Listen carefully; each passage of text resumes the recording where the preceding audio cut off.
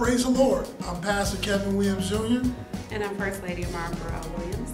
We greet you in the name of Jesus Christ, and we invite you to watch our sermons and Bible studies that it may be uplifting to you. And please visit our website, gbwtalbion.org. And remember, we, We love, love you in Jesus' name. name.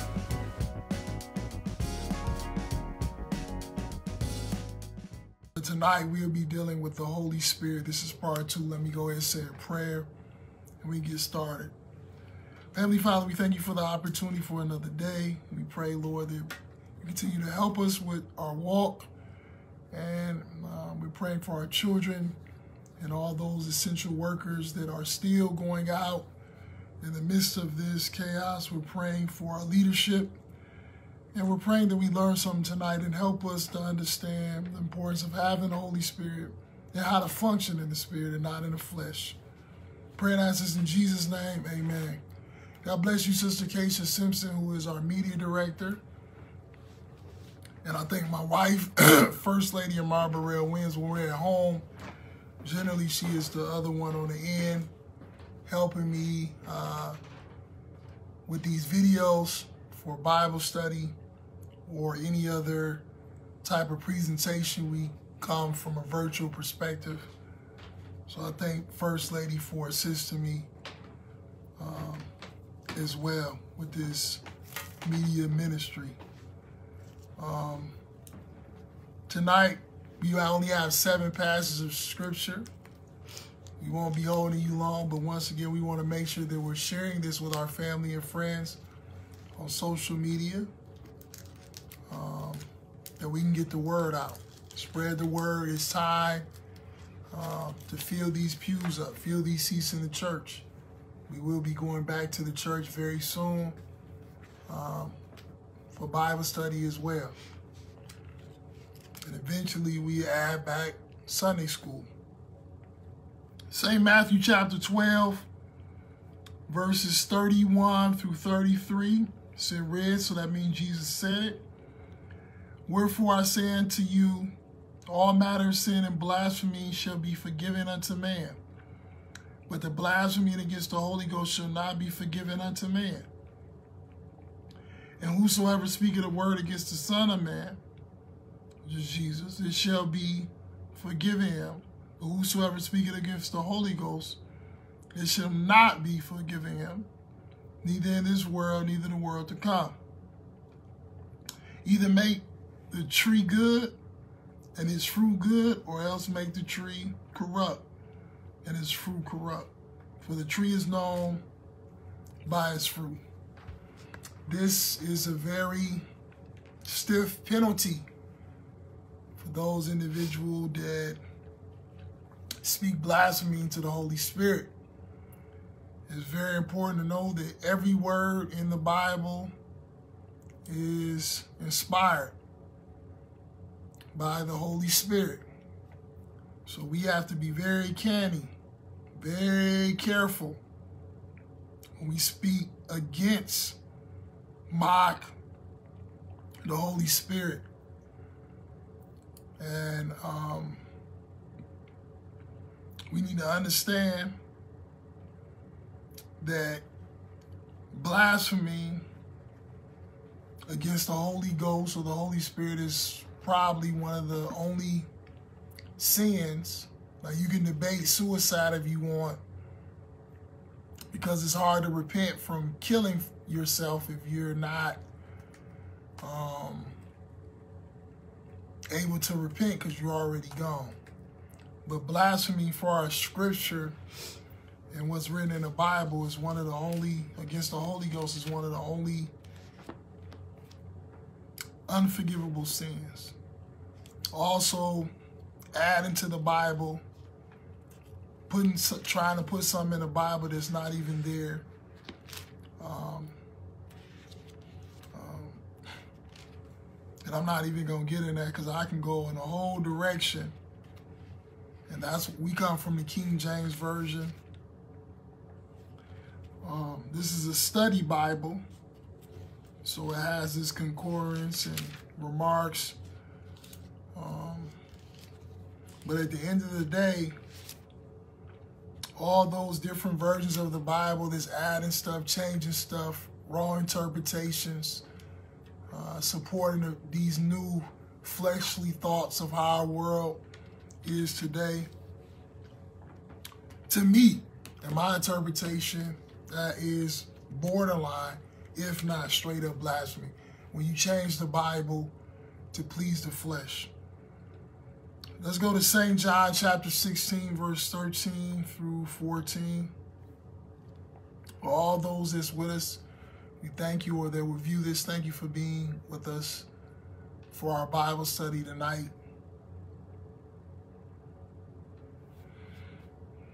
St. John chapter 16, verses 13 through 14. This is also Jesus Christ. Is in red. The Bible reads, Howbeit when he, the Spirit of truth, is come, he will guide you into all truth. For he shall not speak of himself, but whatsoever he shall hear, that shall he speak, and he will show you things to come. He shall glorify me, for he shall receive of mine, and shall show it unto you. Howbeit, when he, the Spirit of truth, that's the Holy Spirit. So we have to also be careful when we try to force things to be representative of the Holy Spirit when it is not. Because if it's not true, it's not the Holy Spirit. We have to be careful when we try to force worldly agendas, worldly point of views, and try to put it together in a word of God. That's why I encourage, and we just coming off a fast, hopefully people are making changes in 2022.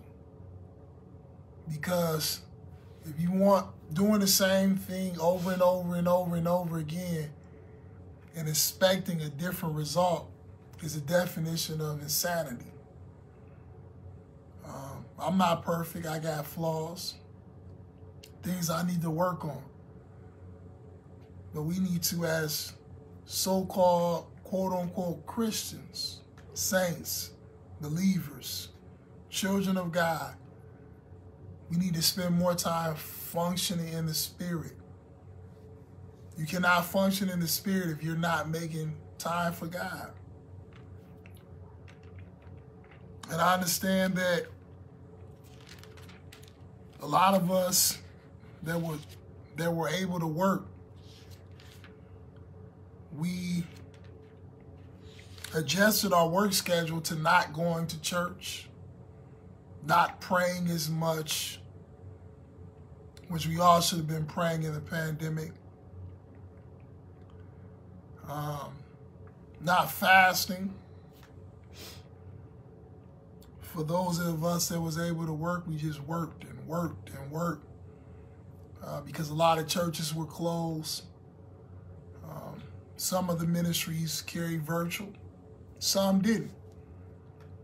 But now we're coming back into a place that you can see that every day that we're moving closer and closer to coming out of this pandemic. And the Holy Spirit will let you know. See, we we focus our culture, our ethnic group, so much on what other people is doing. The Holy Spirit will have you looking in, in, into yourself. What are you doing wrong and what do you need to change? The Bible even talks in the New Testament about quenching the Holy Spirit. See, having the Holy Spirit is supposed to bring God into you and give you an extra conscience when you know wrong from right. And it's not just knowing wrong or right. I shouldn't cuss. I shouldn't do this, blah, blah. Also, your decisions that you make. It should be something when you make a decision, it should be something there saying, how does God feel about this decision? When you have the Holy Spirit. That's why it's important to function in it. Let's go to Romans chapter 15, verse 13. God bless you, uh, God, Brother Victor.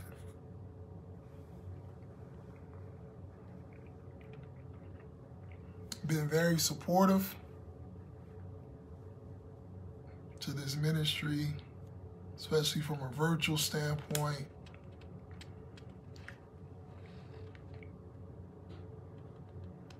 Praying for him, a, a young man that's dedicated to supporting God's work. Romans chapter 15, verse 13, the Bible reads, Now the God of hope fill you with all joy and peace in believing that ye may abound in hope through the power of the Holy Ghost or the power of the Holy Spirit. Our hope is in God. It's not in man. It's in God. Men will make mistake because we dwell in flesh. And the Bible says no good thing dwells in flesh. That's why having the Holy Spirit is important. Our hope is in a whole different level of the individuals in this world just walking around almost like the walking dead. No salvation, eternal life is bliss. Our hope is in God. And it deals here with joy and peace. The Holy Spirit will bring a joy to you. The Bible even says that God will be peace in the middle or in the midst of a storm. Although all these things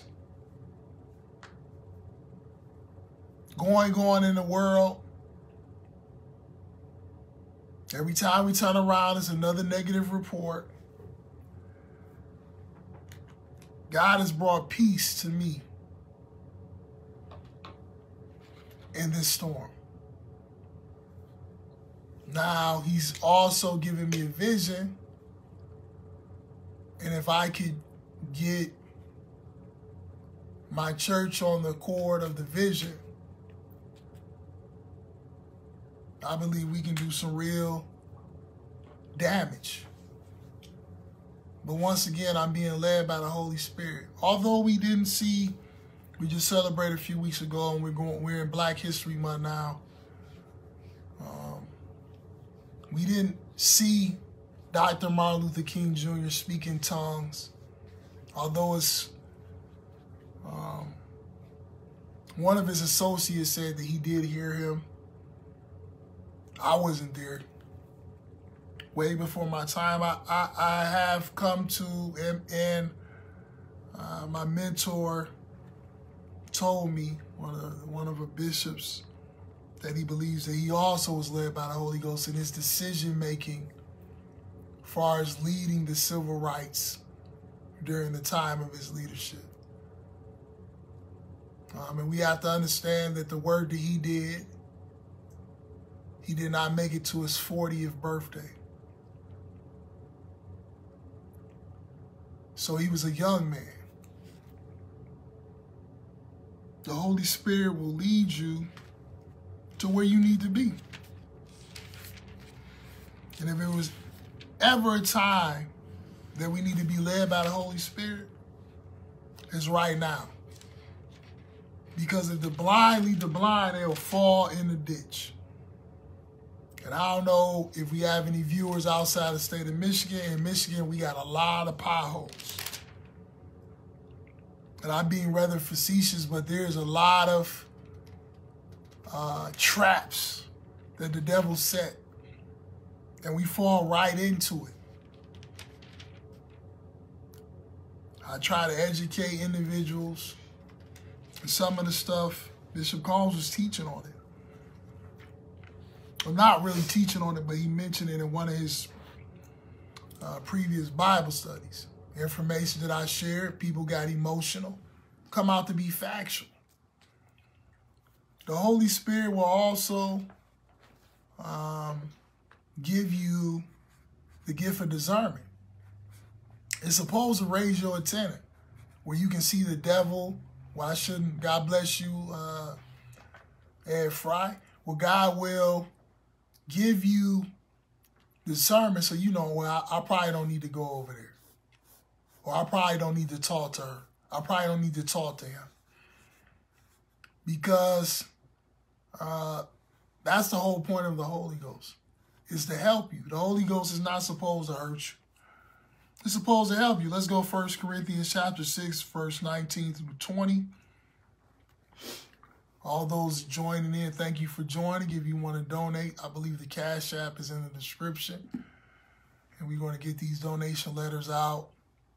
I do want to add the graphic of at least putting a logo on these uh, gift letters. We're thankful for everybody that has given to this ministry. We paid off our church last year. Uh, we're just so thankful and blessed to be in a position during the pandemic. But we still have bills. We got a van that's been on the side of our house for almost a year now. Needs some work. It's a church van. It's a 15 seater, but it needs some work. And some other things that we got plans in place. First Corinthians chapter 6, verse 19, the Bible reads, What? Question mark. Know ye not that your body is the temple of the Holy Ghost, which is in you, which ye have of God, and ye are not your own. For ye are bought with a price, therefore glorify God in your body and your spirit, which are God's. This is why you hear your parents, um, old school apostolics, uh, girls, females not allowed to really get their ears pierced. A lot of them was clip-ons, or, or they would at least say that. Uh, or they may encourage you not to get tattoos in your younger age because this body that we're in is a temple, is a reflection of God. Uh, that's why we believe in um, sanctification um, or representation. Holy Spirit will not have uh, a woman coming to church, acknowledge that Jesus is God, repented for her sins, baptized in water in Jesus' name, filled with the gift of the Holy Ghost, and come into church with see-through leggings where you can see everything. That's the Holy Spirit will not lead you to do that. And the same thing go for man. I know that wearing tight pants is in style.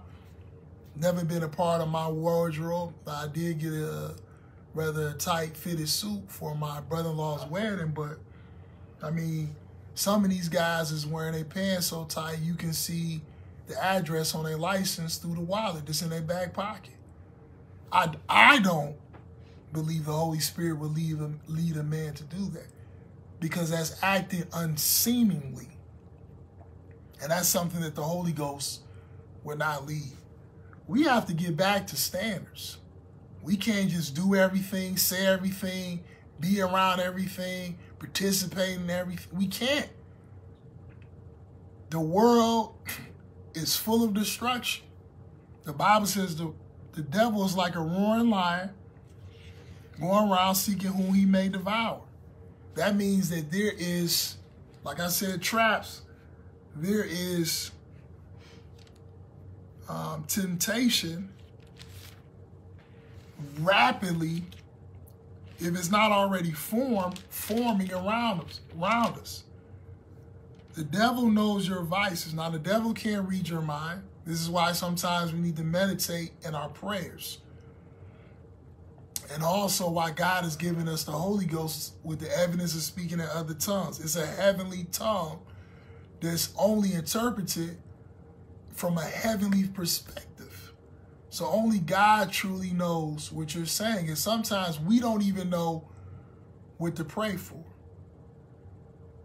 But God knows, the Holy Spirit knows what we need to pray for. Let's go to Galatians chapter 5, verses 22 through 23. Only a few more scriptures and we're going to prepare to close out. I promise you that this Bible study will not be long. This is Holy Spirit Part 2. We are in our salvation series, probably only two more Bible studies dealing with the Holy Spirit. Salvation is important. If you haven't repented, you need to repent. If you haven't been baptized in water in Jesus' name, you need to be baptized in water. If you don't have the Holy Spirit, I'm urging you that we can pray with you that God will bless you with the Holy Spirit. The Holy Spirit makes a difference in your life. But for us that have the Holy Spirit, we got to function in it. It's not just good to have it, function in it. That you will be able to use the gift. It's a gift that God has given us. That you'll be able to use the gift that God has given us.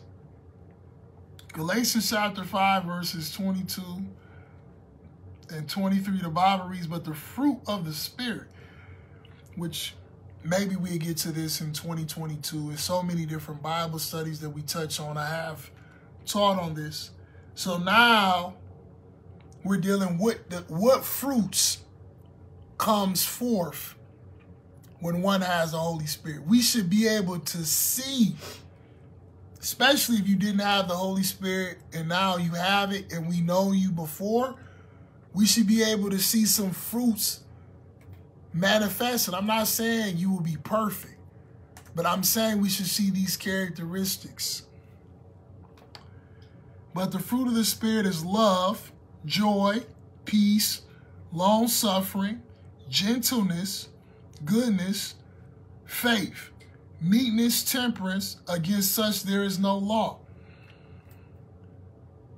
We need to display love. We need to display joy, peace. We need to understand there is long suffering in some of our trials and tribulations we face.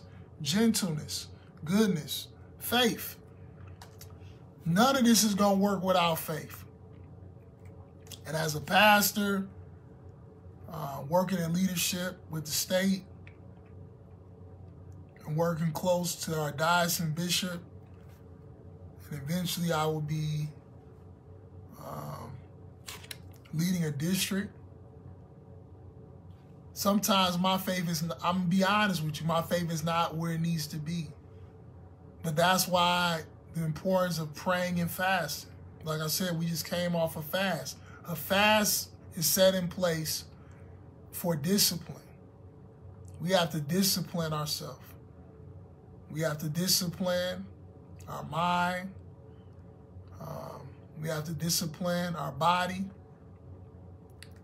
And we have to discipline our wallets, our bank accounts. Because if we just spend all our money, I know some of us get caught up with Amazon. We just order everything. Anything we see, order, order, order, order. That comes out your bank account. You got to have discipline. And off the top, dealing with tithes and offering, 10% goes to God. Off top, before you do anything. We shouldn't put anything over. Well, I'm going to take my tithes. I got a project over here, or I got some back bills uh, that I need to pay that they're not even asking for you to pay them. You just arbitrarily thinks is in a it's a that's a fleshly thought.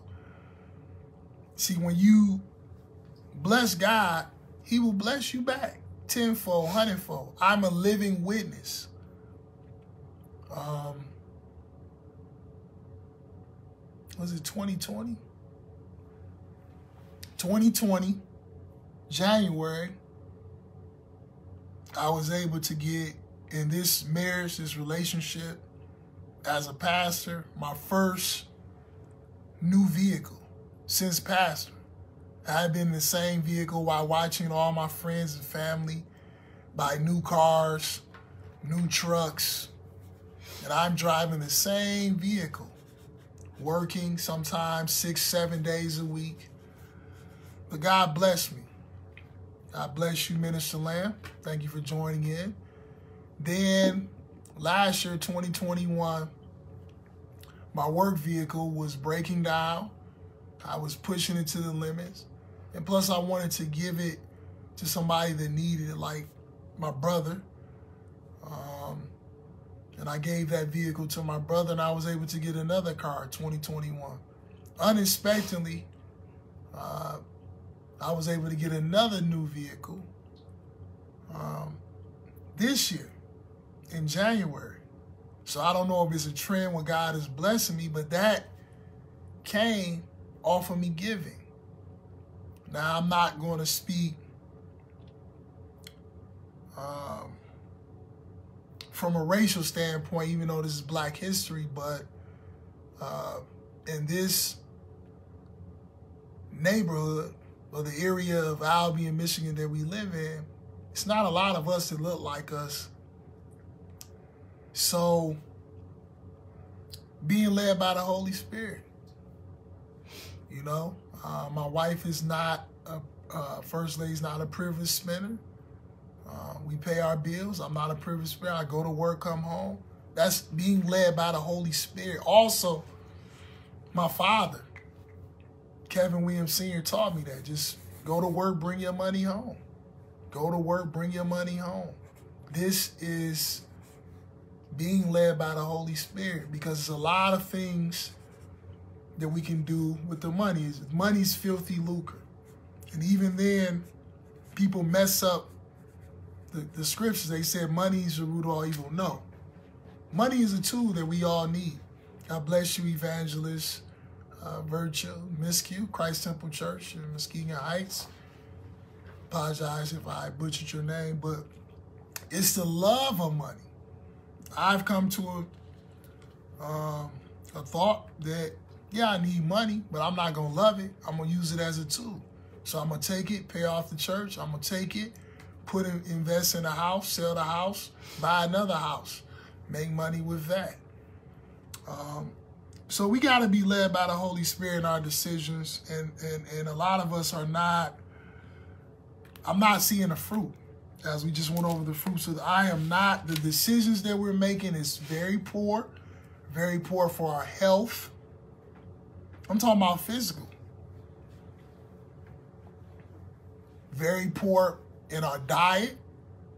We've been watching what they're telling us important i understand the vaccination that's your choice but there's other things we need to do that me and my wife have changed we've took red meat out of our daily diet i've been taking vitamins and i ain't took no vitamins since i was a kid flintstone vitamins been taking all these vitamins i used to drink a, a, at least a gallon of soda every day i stopped drinking soda stopped drinking pop lost all this weight being led by the spirit is not just one element.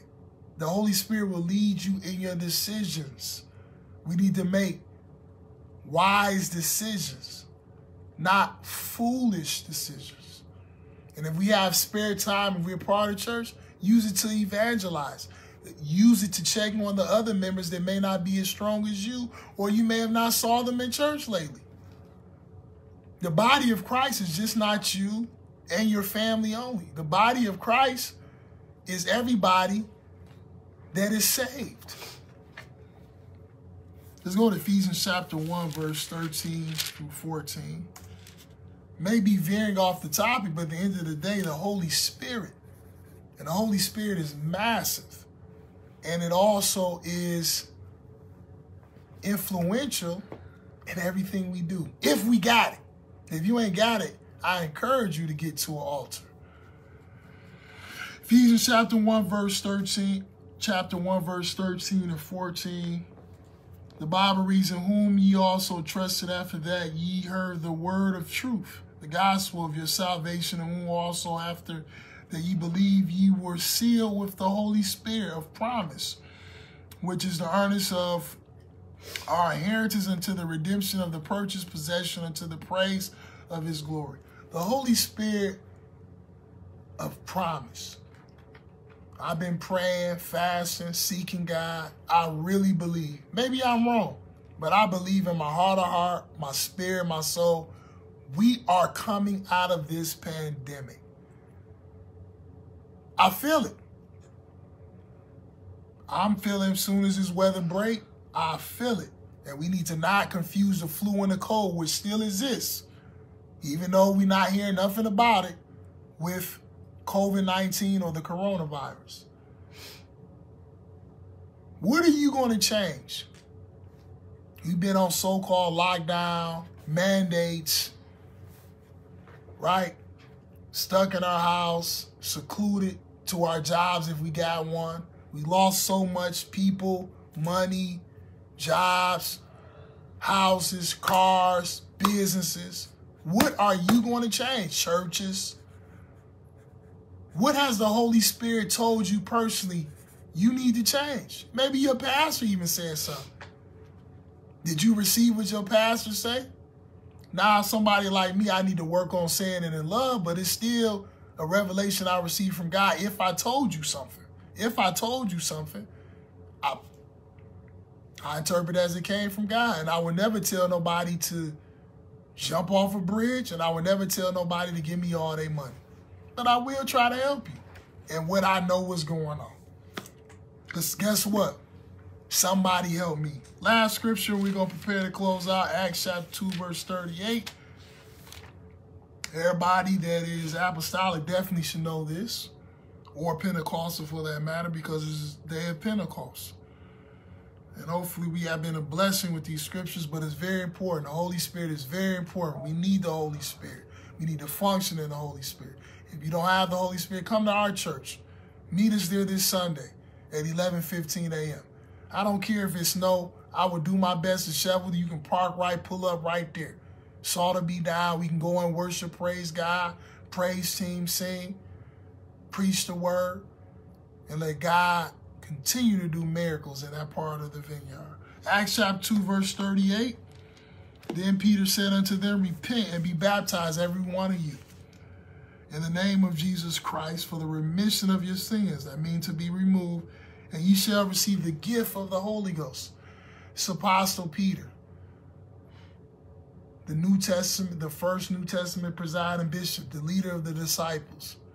In fact, he was in the room when they made the decisions to extend it, the invitation of salvation to the Gentiles.